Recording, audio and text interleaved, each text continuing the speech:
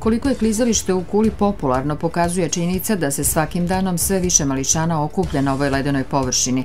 Osim školice klizanja koja je uveliko u toku i koju vodi Slavko Pap iz Ruskog krestura, u subotu su se na klizalištu u Kuli koje je u najveće u Zapadno-Bačkom okrugu naši najmlađi sugrađani oprobali i u igrama bez granica. Najboljim ekipama su uručene nagrade.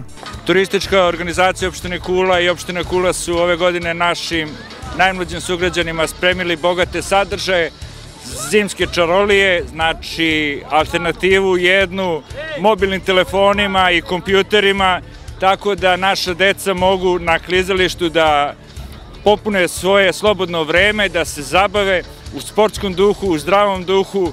Ove godine će klizalište raditi do 15. februara ili dok nam uslovi budu vremenski odgovarali, tako da pozivamo svu dečicu da dođu na klizalište u Kulu i da se družimo zajedno u zimskim čarolijama. Kancelarija za mlade je napravila ovaj lep događaj danas. Nakon ovog događaja će se odigrati hokej utakmica između Ruskog krstura i Aligatora Sombora.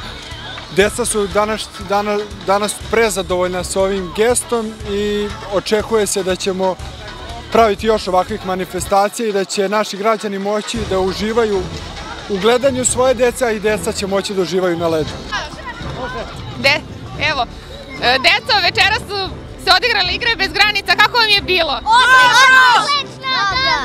Vi ste pobedili, jeste zadovoljni? Da! Bilo je gusto, ali smo dobili.